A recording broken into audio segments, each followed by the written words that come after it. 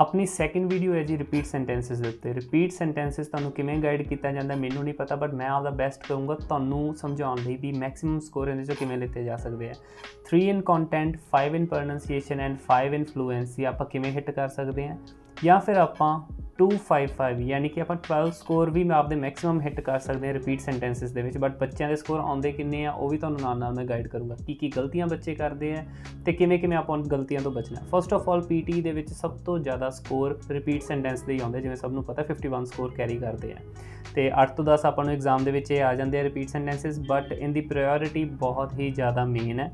ਇਹਦੇ ਵਰਗੀ ਡਿਕਟੇਸ਼ਨ ਹੁੰਦੀ ਹੈ ਜੇ ਤੁਹਾਡੀ ਲਿਸਨਿੰਗ ਦੀ ਸਕਿੱਲ ਚੰਗੀ ਹੈਗੀ ਹੈ ਤੁਸੀਂ ਸੈਂਟੈਂਸ ਨੂੰ ਸਮਝ ਸਕਦੇ ਹੋ, ਤਾਂ ਈਜ਼ੀਲੀ ਤੁਸੀਂ ਇਹਨੂੰ ਕ੍ਰੈਕ ਕਰ ਸਕਦੇ ਹੋ। ਹੁਣ ਰਿਪੀਟ ਸੈਂਟੈਂਸ ਨੂੰ ਕ੍ਰੈਕ ਕਰਨ ਦਾ ਤਰੀਕਾ ਕੀ ਹੈ? ਕਈ ਬੱਚੇ ਫਸਟ ਫਸਟ ਵਰਡ ਲਿਖ ਕੇ ਇਹਨੂੰ ਹਿੱਟ ਕਰ ਲੈਂਦੇ ਆ। ਮੇਰੀ ਵੀ ਪ੍ਰੈਫਰੈਂਸ ਇਹੀ ਹੈ ਵੀ ਤੁਸੀਂ ਫਸਟ ਫਸਟ ਵਰਡ ਜਿਵੇਂ ਕਿ ਜੇ ਕੋਈ ਸੈਂਟੈਂਸ ਹੈਗਾ you will learn ways to gain more control ਆਪਾਂ ਇਹਦਾ y w l w t g m ਬਲਾ ਬਲਾ ਬਲਾ ਯਾਨੀ ਕਿ ਫਸਟ ਫਸਟ ਲੈਟਰ ਨੂੰ ਆਪਾਂ ਕੈਪੀਟਲ ਕਰਕੇ ਫਟਾਫਟ ਨੋਟਸ ਬਣਾ ਲਾਂਗੇ। ਆਪਾਂ ਨੂੰ ਐਜ਼ ਇਟ ਇਜ਼ ਰਿਪੀਟ ਕਰ ਦਾਂਗੇ। ਬਹੁਤ ਸਾਰੇ ਇੰਸਟੀਚਿਊਟਸ 'ਚ ਇਹ ਗਾਈਡ ਕੀਤਾ ਜਾਂਦਾ ਵੀ ਜਸਟ ਤੁਸੀਂ ਲਿਸਨ ਕਰੋ ਤੇ ਬੋਲ ਦਿਓ। ਬਾਈ ਚਾਂਸ ਤੁਸੀਂ ਲੰਬਾ ਸੈਂਟੈਂਸ ਸੁਣ ਰਹੇ ਹੋ। ਜੇ ਤੁਹਾਡਾ ਸਟਾਰਟਰ ਮਿਸ ਹੋ ਗਿਆ you will lose the whole sentence so starter ਤੁਹਾਡਾ ਲਿਖਿਆ ਹੋਵੇ ਤੁਸੀਂ ਜਸਟ ਇੱਕ ਦੋ ਜਾਂ ਤਿੰਨ ਵਰਡ ਹੀ ਲਿਖ ਲਓ ਇਹ ਵੀ ਸਫੀਸ਼ੀਐਂਟ ਹੁੰਦੇ ਆ ਬਾਕੀ ਦੇ ਫਰੇਜ਼ ਨੂੰ ਤੁਸੀਂ ਸਮਝੋ ਕਿਹੜੇ ਕਿਹੜੇ ਫਰੇਜ਼ਸ ਦੇ ਵਿੱਚ ਸੈਂਟੈਂਸ ਕੰਪਲੀਟ ਹੋਇਆ ਤੇ ਉਹਨੂੰ ਫਰੇਜ਼ਲ ਸੈਂਸ ਦੇ ਨਾਲ ਹੀ मीनिंग ਬਣਾਓ ਇੱਕ ਇੱਕ ਵਰਡ ਦਾ ਤੁਸੀਂ ਰੱਟਾ ਨਹੀਂ ਲਗਾ ਸਕਦੇ ਜੇ ਆਪਾਂ ਕਹੀਏ ਕ੍ਰੈਮ ਕਰ ਲਈਏ ਵੀ ਫਸਟ ਜਗ੍ਹਾ ਤੇ ਆਹ ਵਰਡ ਹੈ ਸੈਕੰਡ ਆਹ ਵਰਡ ਹੈ ਥਰਡ ਆਹ ਵਰਡ ਹੈ ਬਟ ਹਾਂ ਇਹ ਜ਼ਰੂਰ ਯਾਦ ਕਰ ਸਕਦੇ ਵੀ ਫਸਟ ਫਰੇਜ਼ ਇਹ ਹੈ ਸੈਕੰਡ ਫਰੇਜ਼ ਇਹ ਹੈ ਤੇ ਥਰਡ ਇਹ ਹੈ ਸਕਿਪ ਕਿਵੇਂ ਕਰ ਸਕਦੇ ਆ ਕਿਵੇਂ ਉਹਨਾਂ ਚੀਜ਼ਾਂ ਨੂੰ ਆਪਾਂ ਚੱਲਦੇ ਆ ਕੰਪਿਊਟਰ ਦੇ ਉੱਤੇ ਜਿਹੜੇ ਬੱਚੇ ਨੇ ਟੈਸਟ ਦਿੱਤਾ ਉਹਨੂੰ ਐਨਾਲਿਸਿਸ ਕਰਦੇ ਆ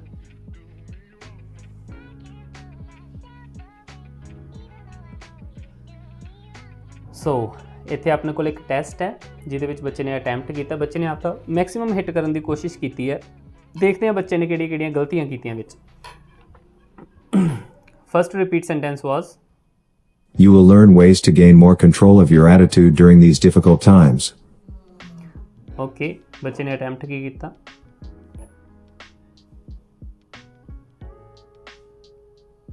You will you will learn more during these times. First of all ਤੁਹਾਡੀ ਜਿਹੜੀ ਰੈਪੀਟੇਸ਼ਨ ਹੋਈ ਹੈ, ਮੈਂ ਇੱਕ ਹੋਰ ਚੀਜ਼ ਤੁਹਾਨੂੰ ਦੱਸਦਾ ਵੀ ਰਿਪੀਟ ਸੈਂਟੈਂਸ ਦੇ ਵਿੱਚ ਬੀਪ ਨਹੀਂ ਵੱਜਦੀ।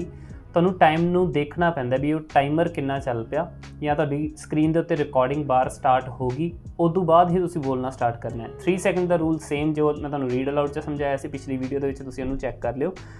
ਹੁਣ ਇਹਦੇ ਵਿੱਚ ਆਪਾਂ ਅਟੈਂਪਟ ਕਰਨਾ ਕੀ ਸੀ? ਬੱਚੇ ਨੇ ਕੀ ਅਟੈਂਪਟ ਕਰਨਾ ਸੀ? ਜਿਹੜੇ ਉਹਦੇ ਮੈਕਸਿਮਮ ਸਕੋਰ ਆਏ ਉਹਦੇ ਸਕੋਰ ਆਇਆ 1 in content 2 in fluency and 2 in pronunciation ਕੀ ਤੁਹਾਨੂੰ ਵੀ ਇਹੀ ਲੱਗਦਾ ਵੀ ਇਹ ਬੱਚੇ ਦੇ ਇੰਨੇ ਹੀ ਸਕੋਰ ਸੀ? ਦੁਬਾਰਾ ਪਲੇ ਕਰਦਾ ਮੈਂ।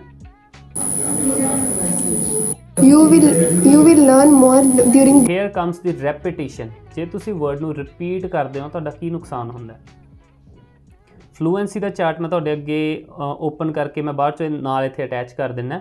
ਫਲੂਐਂਸੀ ਦੇ ਸਕੋਰ ਕਿਵੇਂ ਆਉਂਦੇ ਆ? ਪ੍ਰੋਨੰਸੀਏਸ਼ਨ ਦੇ ਸਕੋਰ ਕਿਵੇਂ ਆਉਂਦੇ ਆ? ਤੁਸੀਂ ਇੱਧਰ ਸਕਰੀਨ ਦੇ ਉੱਤੇ ਇਹਨੂੰ ਚੈੱਕ ਕਰ ਸਕਦੇ ਹੋ ਵੀ ਐਕਚੁਅਲ ਦੇ ਵਿੱਚ ਆ ਪੰਜਾਂ ਚੋਂ ਪੰਜ ਸਕੋਰ ਕਿਵੇਂ ਆਉਂਦੇ ਆ।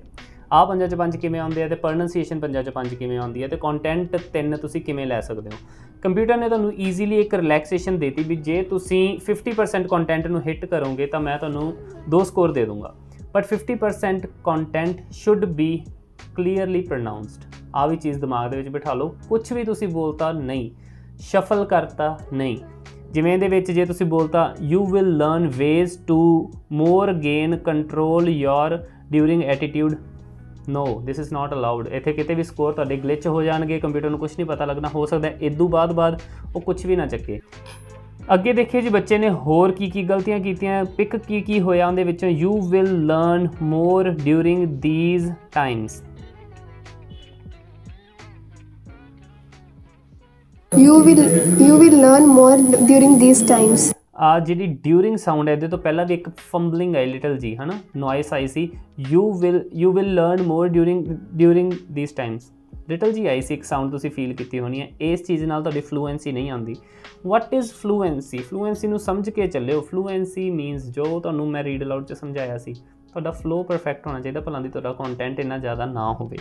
Like you will learn ways to gain more control that's it ਇਹ ਤੋਂ ਬਾਅਦ ਕੁਝ ਵੀ ਨਾ ਬੋਲੋ। ਜੇ ਤੁਹਾਨੂੰ ਹੈਜ਼ਿਟੇਸ਼ਨ ਤੋਂ ਬਾਅਦ ਕੁਝ ਯਾਦ ਵੀ ਆਉਂਦਾ, ਤੁਸੀਂ ਤਾਂ ਵੀ ਅਟੈਂਪਟ ਨਹੀਂ ਕਰਨਾ। ਜੇ ਅਟੈਂਪਟ ਕਰੋਗੇ, ਤਾਂ ਹੀ ਤੁਹਾਡੀ ਫਲੂਐਂਸੀ ਐਰਰ ਹੋਊਗੀ। ਤੇ ਜੇ ਕੋਈ ਔਖਾ ਵਰਡ ਆ ਜਾਂਦਾ, ਤੁਸੀਂ ਉਹਨੂੰ ਸਕਿਪ ਕਰੋ।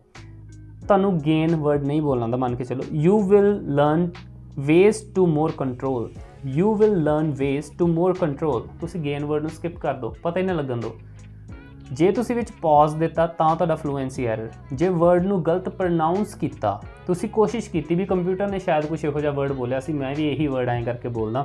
ਸੋ ਉਹ ਚੀਜ਼ ਗਲਤ ਹੁੰਦੀ ਹੈ, ਤੁਸੀਂ ਉਹਨੂੰ ਅਟੈਂਪਟ ਨਹੀਂ ਕਰਨਾ। ਜੇ ਡਿਫਿਕਲਟੀ ਹੈ ਤੁਸੀਂ ਉਹਨੂੰ ਡਿਫਿਕਲਟੀ ਕਹਿਣਾ ਡਿਫਿਕਲਟੀਜ਼ ਕਹਤਾ ਤਾਂ ਵੀ ਤੁਹਾਡਾ ਐਰਰ ਹੈ ਤੁਹਾਡਾ ਉਹ ਸਕੋਰ ਨਹੀਂ ਕਾਊਂਟ ਹੋਣਾ।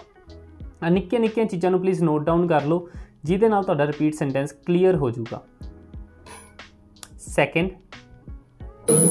Your assignment have specific goal and you should have to understand them.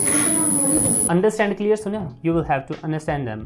Understand understand ਹਾਲਾਂਕਿ ਕੰਪਿਊਟਰ ਨੇ ਪਿਕ ਕਰ ਲਿਆ ਬਟ ਉਹ ਵਾਲਾ ਆਰਟੀਫੀਸ਼ੀਅਲ ਇੰਟੈਲੀਜੈਂਸ ਜੋ ਪੀਅਰਸਨ ਕੋਲ ਸੌਫਟਵੇਅਰ ਹੈ ਉਹ ਇਹ ਵਰਡਿੰਗਸ ਨੂੰ ਨਹੀਂ ਪਿਕ ਕਰੂਗਾ ਅਗਲਾ sentence Managing to succeed the life is the biggest challenge to use.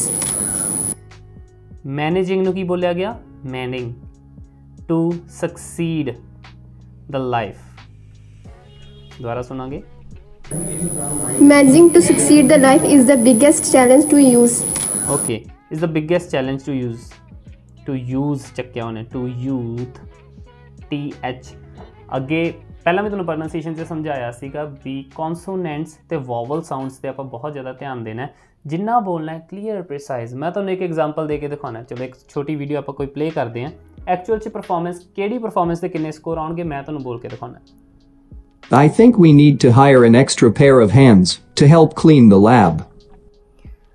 I think we need to hire an extra pair. That's it. ਇੱਥੋਂ ਤੱਕ ਕਿੰਨੇ ਸਕੋਰ ਬਣ ਜਾਂਦੇ ਆ 1 2 3 4 5 6 7 8 9 ਆਊਟ ਆਫ 16 ਦੇ ਵਿੱਚੋਂ ਮੈਂ 9 ਵਰਡਸ ਬੋਲਤੇ ਕੰਟੈਂਟ ਕੀ ਕਹਿੰਦਾ ਕੰਟੈਂਟ ਕਹਿੰਦਾ ਜੇ ਤੁਸੀਂ 50% ਤੋਂ ਉੱਤੇ ਬੋਲਦੇ ਹੋ ਪਲੱਸ ਉਹਦੇ ਵਿੱਚ ਪ੍ਰੋਪਰ ਨਾਉਂਸ ਹੋਣੇ ਜ਼ਰੂਰੀ ਆ ਹੁਣ ਬੱਚਾ ਕਹੂਗਾ ਸਰ ਮੈਂ ਬੋਲਦਾ I we to an of to help clean the ਇਹਦੇ ਵਿੱਚ ਕੋਈ ਨਾਉਂਸ ਨਹੀਂ ਆਏ, ਕੋਈ ਸੈਂਟੈਂਸ ਨੂੰ ਸਮਝਾਇਆ ਨਹੀਂ ਜਾ ਰਿਹਾ, ਤਾਂ ਇਸ ਚੀਜ਼ ਨਾਲ ਤੁਹਾਡੇ ਸਕੋਰ ਨਹੀਂ ਆਉਣੇ। ਉਹਦੇ ਵਿੱਚ ਨਾਉਂਸ ਐਂਡ ਵਰਬਸ ਜੋ ਕਿ ਸੈਂਟੈਂਸ ਨੂੰ ਸਮਝਾ ਰਹੇ ਆ, ਉਹ ਹੋਣੇ ਵੀ ਜ਼ਰੂਰੀ ਹੈ। ਜ਼ਰੂਰੀ ਚਾਹੀਦੇ ਸੌਰੀ ਸੋ ਇਸ ਵੇ ਨਾਲ ਨੂੰ ਅਟੈਂਪਟ ਕਰੋ। ਫਰੰਟ ਫਰੇਜ਼ ਨੂੰ ਤੁਸੀਂ ਬੋਲ ਸਕਦੇ ਹੋ।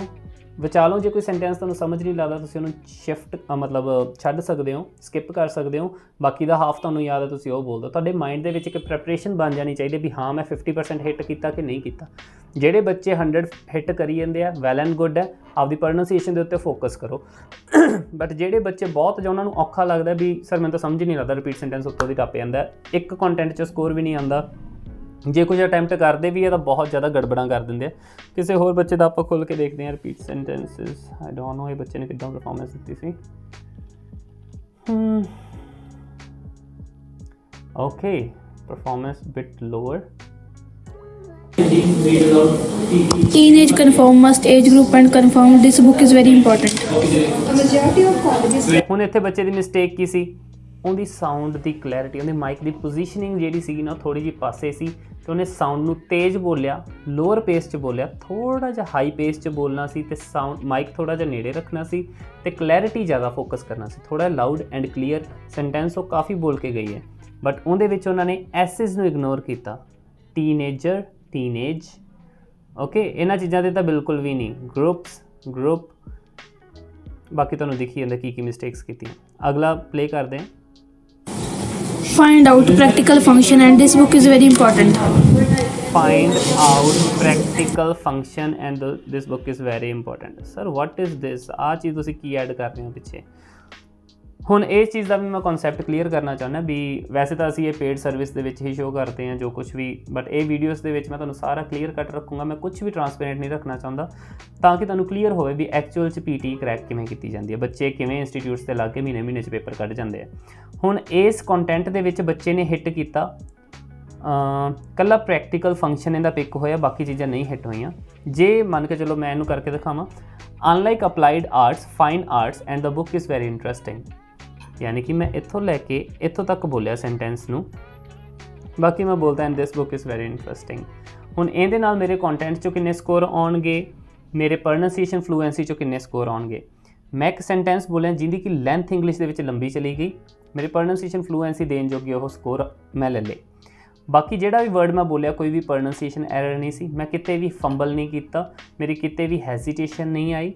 ਸੋ ਮੇਰੇ ਸਕੋਰ ਪੂਰੇ ਹੈ ਕੰਟੈਂਟ ਕਿੰਨੇ? ਉਹ ਕਾਊਂਟ ਕਰਕੇ ਪਤਾ ਲੱਗ ਜਾਊਗਾ ਵੀ ਹਾਂਜੀ 50% ਕ੍ਰਾਸ ਕੀਤੇ ਆ ਤਾਂ ਤੁਹਾਡੇ 50 ਮਤਲਬ 2 ਕੰਟੈਂਟ ਆ ਜਾਣਗੇ। ਜੇ ਤੁਸੀਂ ਉਦੋਂ ਵੀ ਜ਼ਿਆਦਾ ਹਿੱਟ ਕਰੋਗੇ, ਤਾਂ 2 ਤੋਂ ਪਲੱਸ 20 ਕੰਪਿਊਟਰ ਤੁਹਾਨੂੰ ਸਕੋਰਸ ਦਿੰਦਾ ਹੈ। 2 ਤੋਂ ਲੈ ਕੇ 3 ਤੱਕ ਦੀ ਰੇਂਜ ਆਏ ਨਹੀਂ ਕਿ ਵੀ 50% ਤੇ 100% ਜੇ ਤੁਸੀਂ ਫੁੱਲ ਹਿੱਟ ਕਰਦੇ ਹੋ, ਤੁਹਾਡੇ ਤੋਂ just a N the miss ਹੋ ਗਿਆ, ਤਾਂ ਤੁਹਾਡਾ ਨੀਅਰ ਪਰਫੈਕਸ਼ਨ ਚਲਾ ਗਿਆ। ਤੁਹਾਡੇ 3 ਦੇ ਨੇੜੇ ਸਕੋਰ ਆਣਗੇ ਯਾਨੀ ਕਿ 2.95 2.80 ਜਾਂ ਸਮਥਿੰਗ ਜਿਹੜੇ ਬੱਚੇ ਦੇ ਸਕੋਰ ਜ਼ਿਆਦਾ ਆਉਂਦੇ ਆ ਲਿਸਨਿੰਗ ਦੇ ਵਿੱਚੋਂ, ਉਹਦੇ ਰਿਪੀਟ ਸੈਂਟੈਂਸ ਸੁਣ ਕੇ ਦੇਖਿਓ। ਕਿ ਉਹ ਰਿਪੀਟ ਸੈਂਟੈਂਸ ਕਿੰਨੇ ਹਿੱਟ ਕਰੀ ਜਾਂਦਾ ਉਹਦਾ ਕੰਟੈਂਟ ਕਿੰਨਾ ਜਾਂਦਾ ਪਿਆ। ਹੁਣ ਆਪਾਂ ਕਹਿੰਦੇ ਸਰ ਟੈਂਪਲੇਟਸ ਦੇ ਅਕੋਰਡਿੰਗਲੀ ਸਮਰੀ ਕਰਕੇ ਆਪਣੇ ਲਿਸਨਿੰਗ 'ਚ ਸਕੋਰ ਵੱਧ ਗਏ ਜਾਂ ਫਿਰ ਹੋਰ ਕੁਝ ਵੀ, ਸਰ ਆਹ ਵਾਲਾ ਟੈਂਪਲੇਟ ਉਹਨਾਂ ਨੇ ਯੂਜ਼ ਕੀਤਾ ਸੀ, ਉਹਦੇ ਨੇ ਸਕੋਰ ਬਹੁਤ ਸੋਹਣੇ ਆਏ ਲਿਸਨਿੰਗ ਦੇ ਵਿੱਚੋਂ। ਇਹ ਕਨਸੈਪਟ ਕੱਢ ਦਿਓ ਜਿਹੜੇ ਮੋਡਿਊਲ ਦੀ ਵੇਟੇਜ ਜ਼ਿਆਦਾ ਹੈ, ਤੁਸੀਂ ਉਹਨੂੰ ਕਰਨ ਦਾ ਤਰੀਕਾ ਸਮਝੋ। ਜੇ ਤੁਸੀਂ ਹਰੇਕ ਬੱਚੇ ਦਾ ਆਪਦਾ ਲੈਵਲ ਹੈ, ਹੁਣ ਜੇ ਮੈਂ ਕਹੂੰਗਾ ਮੈਂ ਹਰ ਬੱਚੇ ਦੇ 90 ਸਕੋਰਸ ਲਿਆਦਾ ਹੋ ਸਕਦਾ ਹੈ? ਪੋਸੀਬਲ ਹੈ? ਨਹੀਂ ਹੋ ਸਕਦਾ, ਹਨਾ? ਹਾਂ, ਹੋ ਸਕਦਾ ਹੈ ਪੇਡ ਮਟੀਰੀਅਲਸ ਜੋ ਚੱਲੀ ਜਾਂਦਾ ਮਾਰਕੀਟ ਦੇ ਵਿੱਚ ਬਟ ਮੈਂ ਉਹਦੀ ਗੱਲ ਨਹੀਂ ਕਰ ਰਿਹਾ। ਬਟ ਜੋ ਲੀਗਲੀ ਤੁਸੀਂ ਸਕੋਰ ਲੈਣਾ ਚਾਹੁੰਦੇ ਹੋ, ਤਾਂ ਕਨਸੈਪਟਸ ਨੂੰ ਸਮਝੋ ਜਸਟ ਕਨਸੈਪਟਸ ਨੂੰ ਸਮਝੋ।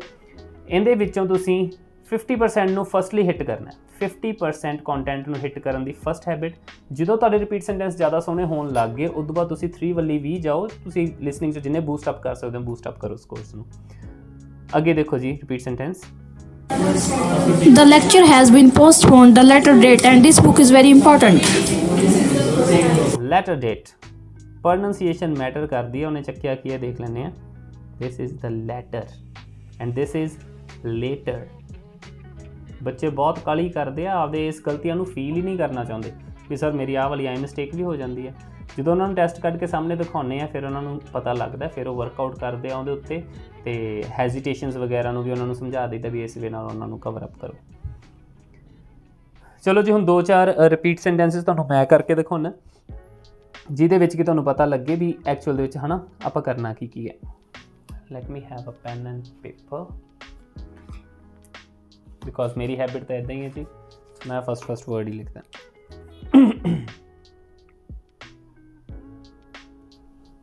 Students often don't understand what exactly they're expected to do.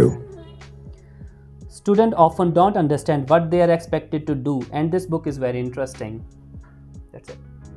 ਹੁਣ ਆਪਾਂ ਆਨਸਰ ਚੈੱਕ ਕਰੀਏ Students often don't understand what exactly they do. They are expected to do. Expected to do ਮੈਂ ਛੱਡਤਾ ਮੈਂ ਆਪਦੀ ਫਲੂਐਂਸੀ ਮੇਨਟੇਨ ਰੱਖੀ। ਮੇਰੇ ਸਕੋਰ ਕੰਟੈਂਟਸ ਚੋਂ 2 ਤੋਂ ਪਲੱਸ ਚਲੇ ਗਏ। ਪ੍ਰੋਨੰਸੀਏਸ਼ਨ ਫਲੂਐਂਸੀ ਕੋਈ ਐਰਰ ਨਹੀਂ। ਹਾਂ, ਜੇ ਕੰਪਿਊਟਰ ਨੂੰ ਲੱਗਿਆ ਕੋਈ ਮਾਈਕ ਪਲੇਸਮੈਂਟ ਦਾ ਜਾਂ ਕੁਝ ਵੀ, ਉਹ ਕੰਪਿਊਟਰ ਐਨਾਲਿਸਿਸ ਕਰਕੇ ਦੱਸ ਦੂਗਾ। But this was the correct way to perform a repeat sentence next repeat sentence ਜੇ ਕੋਈ ਔਖਾ ਆ ਜਾਂਦਾ ਹੈ, ਜ਼ਿਆਦਾ ਲੈਂਥੀ ਆ ਜਾਂਦਾ ਹੈ, ਜ਼ਰੂਰੀ ਨਹੀਂ ਤੁਸੀਂ ਸਾਰਾ ਅਟੈਂਪਟ ਕਰਨਾ ਹੈ। ਜਿੰਨਾ ਤੁਹਾਨੂੰ ਈਜ਼ੀਲੀ ਸੁਣਿਆ, ਤੁਸੀਂ ਉਹਨੇ ਤੇ ਅਟੈਂਪਟ ਕਰੋ। Here are a few challenges that you may encounter abroad. Here are few challenges that you may encounter and the book is very interesting. Okay ਹੁਣ ਮੈਂ ਬੋਲਣ ਨੂੰ ਇਹਨੂੰ ਜਲਦੀ ਕਾਲੀ ਚ ਵੀ ਬੋਲ ਸਕਦਾ here are a few changes that you may encounter encounter ਹੁਣ ਜੇ ਕੰਪਿਊਟਰ ਨੂੰ ਮੈਂ ਸਲੋ ਕਰਕੇ ਵੌਇਸ ਨੂੰ ਸੁਣੂੰਗਾ ਤਾਂ ਮੇਰਾ ਕੀ ਸੁਣੂਗਾ encounter encounter anaconda type word ਵੀ ਕੋਈ ਸੁਣੀ ਜਾਂਦਾ ਮੈਨੂੰ ਤੁਹਾਡੀ ਆਵਾਜ਼ ਤੁਸੀਂ ਸਲੋ ਕਰਕੇ ਆਪਦੇ ਫੋਨ ਦੇ ਵਿੱਚ ਰਿਕਾਰਡ ਕਰਕੇ ਉਹਨੂੰ ਫੀਲ ਕਰਕੇ ਦੇਖੋ ਵੀ ਐਕਚੁਅਲ 'ਚ ਤੁਹਾਡਾ ਸਾਊਂਡ ਕੀ ਨਿਕਲ ਰਿਹਾ। ਤੁਹਾਡਾ ਕੰਪਿਊਟਰ ਨਾਲ ਮੱਥਾ ਲੱਗ ਰਿਹਾ। ਅਗੇਨ ਮੈਂ ਤੁਹਾਨੂੰ ਵਾਰੀ-ਵਾਰੀ ਰਿਪੀਟ ਕਰ ਰਿਹਾ, ਇਹਨੂੰ ਸਾਊਂਡ ਕਲੈਰਿਟੀ ਚਾਹੀਦੀ ਹੈ। ਤੁਸੀਂ ਨਾਰਮਲ ਕਿਸੇ ਨਾਲ ਸਪੀਕਿੰਗ ਦੇ ਰਹੇ ਹੋ, ਤੁਹਾਡਾ ਸਾਊਂਡ ਇੰਨੀ ਕਲੈਰਿਟੀ ਦੀ ਤੁਹਾਨੂੰ ਲੋੜ ਨਹੀਂ ਪੈਂਦੀ, ਅਗਲਾ ਬੰਦਾ ਅੰਡਰਸਟੈਂਡ ਕਰ ਜਾਂਦਾ ਹੈ।